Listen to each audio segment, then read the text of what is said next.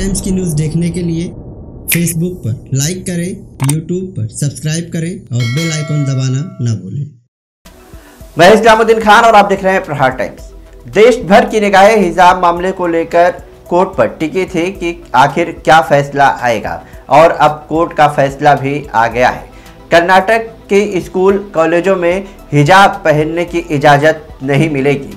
Karnataka high court ने मंगलवार को यह फैसला दिया है। पिछले चौहत्तर दिन से इस मामले पर जारी घमासान को लेकर दिए फैसले में हाई कोर्ट ने दो अहम बातें कही हैं। पहली बात है, हिजाब इस्लाम का अनिवार्य हिस्सा नहीं है। दूसरी बात, स्टूडेंट स्कूल या कॉलेज की तयशुदा यूनिफॉर्म पहनने से इनकार नहीं कर सकते हैं।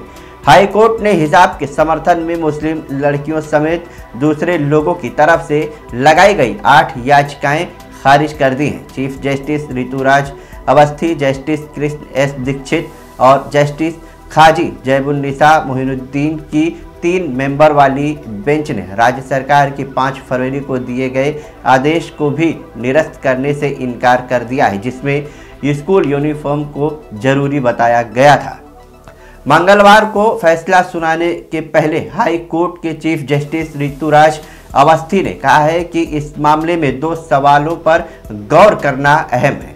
पहला सवाल, क्या हिजाब पहनना आर्टिकल 25 के तहत धार्मिक आज़ादी अधिकार में आता है? दूसरी, क्या स्कूल यूनिफॉर्म पहनने को कहना इस आज़ादी का हनन है? इसके बाद हाई कोर्ट ने शैक्षणिक संस्थाओं में हिजाब पर बैन को सही ठहराया है। यानी कि कर्नाटक में स्कूल कॉलेजों में हिजाब पर पाबंदी बरकरार रहेगी।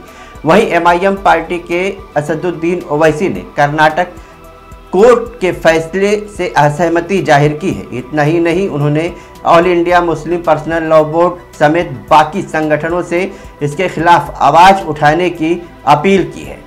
एमआईएम पार्टी के नेता और हैदराबाद के सांसद असदुद्दीन ओवैसी ने लिखा है कि कर्नाटक हाई कोर्ट के फैसले से सहमत नहीं है। फैसले से असहमत होना मेरा हक है। मुझे उम्मीद है कि याचिकाकर्ता सुप्रीम कोर्ट का दरवाज़ा खटखटाएँगे। तो तमाम खबरों को जानने के लिए देखते रहिए प्रहार टाइम्स।